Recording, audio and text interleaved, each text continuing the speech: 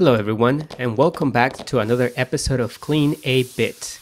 Today we are going to be doing an unboxing of the new Apple Watch SE second generation.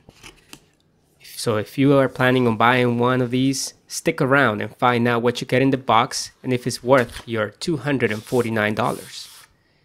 Right now I am unboxing the straps and in this case we chose the color Starlight. Since this Apple Watch is going to be for my wife, she decided to pick this color because it matches her style better than mine. As you can see, I already have an Apple Watch SE on and mine comes in a midnight color. So it's a lot different than hers. All right, so now opening the second box, inside we find the watch itself. This is a 40 millimeter case and the color of this one is also starlight aluminum. So it matches the strap really well. It comes protected with a little plastic but here you have it. It's very tiny but it feels very heavy and well built as always apple is known for that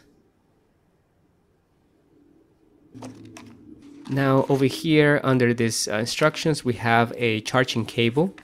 This is a USB-C so you will need a USB-C plug to be able to charge your phone with this or like charging brick that has a USB port and after that we put the straps on the watch and just for comparison I want to show you mine Apple Watch is a 44 millimeter but uh, this second one that we just to open is the 40 millimeter so this is the size difference.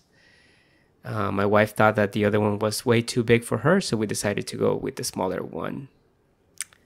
And here you go.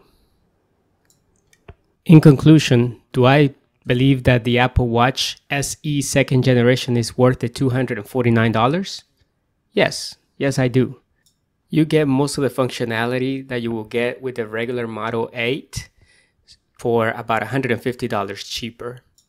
My only complaint is that it doesn't have the charging brick, that it only has the charging cable.